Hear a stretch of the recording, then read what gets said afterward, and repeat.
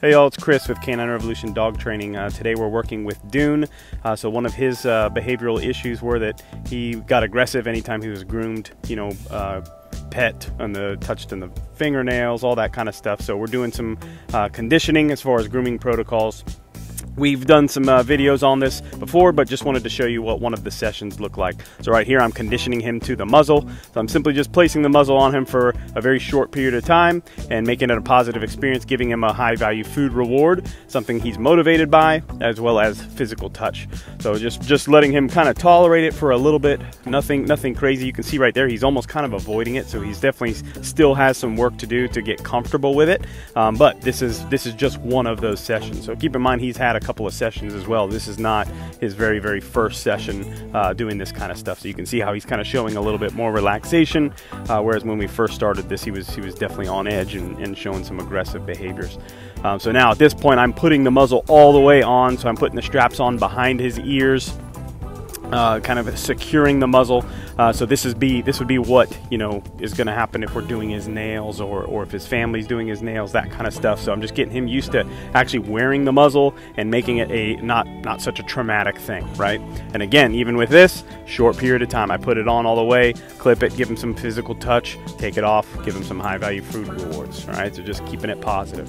So next we're going to move on to some of the equipment that we're using and you can use whatever kind of brush, um, you know, combs, whatever it is you're using, thinning shears, you're just kind of exposing them to the equipment. Again, short bursts, making it positive.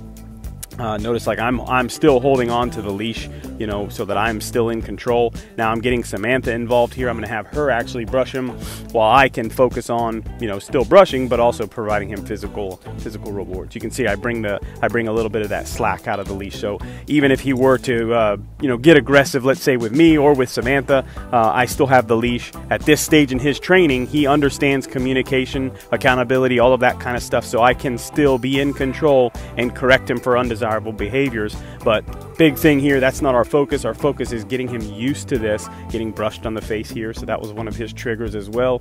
Just getting him used to this in short bursts, how to learn how to deal with this stress and teach him uh, that it, you know, it's a positive thing. So right here, I'm grabbing his uh, his paws, so you can see he's uncomfortable with that. See how his body got a little bit more rigid. He kind of shifted off of his hips uh, and he kind of pulled his paw away from me. So this is obviously something he's uncomfortable with. But again, this is we're just going to do this over and over and over, uh, repetitiously, making this a positive thing till eventually he doesn't really care about being groomed, right? And he's he's definitely making good good progress with that. So all I'm doing, I'm just grabbing his paws at first, and I might even start depending on the dog and what, what the issues are, I might just start to reach for his paws. A lot of dogs would be triggered by that. Right here, I'm just grabbing his paws, you know, so I'll, I'll grab his paws in my hand. Maybe I'll, I'll mess with his fingernail, that kind of stuff. I'm bringing out the grinder at this point.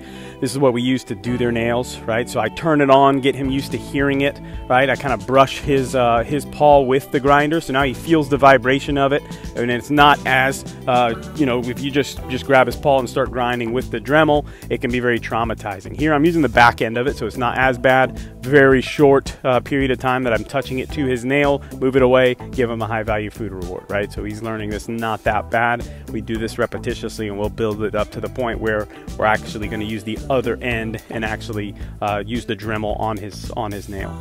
So right there, he kind of gets up a little bit. I kind of want I want him. He is a dominant dog, so I want him in that down. Uh, I want him in the down. He's easier to control, and he understands the expectation. Gives him something to do. Gives him something to focus on, while we continue to make this a positive experience.